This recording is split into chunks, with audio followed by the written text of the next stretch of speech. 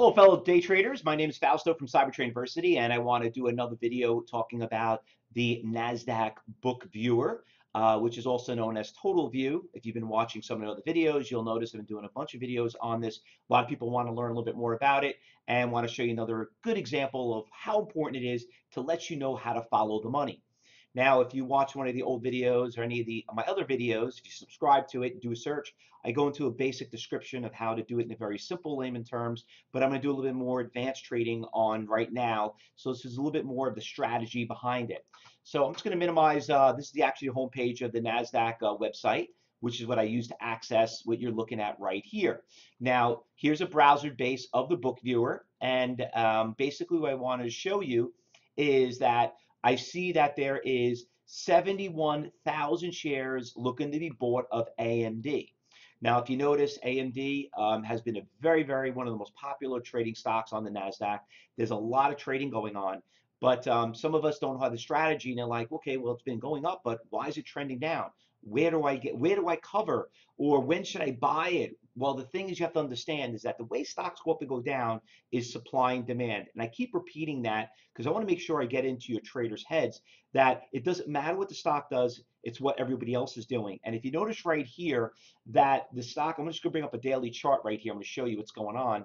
And you could see over the course of the day, AMD went from 39.80 and you know from the from the start of this morning and just literally just came all the way down to a price of 39.20 now that's a pretty not a huge drop but it's something that you know all of us are looking at it and say okay well does it have a double top a triple bottom? You hear all these little you know technical terms but the th the bottom line is this. It came to a, a, price which was right around close to the 39 and in the past hour it's been having a tough time breaking it.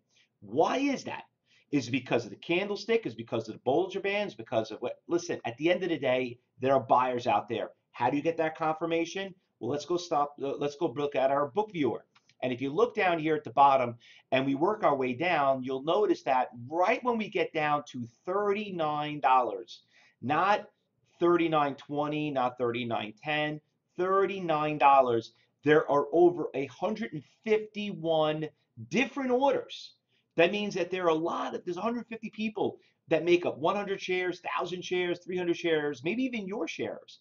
And that's equivalent to 71,000 shares. Now listen, there are orders at every single price up over here at 39.20, at 39.12 that make up 11 shares. But that is a lot of orders. So when you're sitting there and you're looking at the chart, and let me kind of split the screen for you so you can see a little bit better, and you're seeing that, wow, look at that big drop. And then all of a sudden it kind of like loses steam and it's starting to trend up a little bit, but it's not really breaking it and getting back to that big buyer. Well, it's because that there is a demand out there.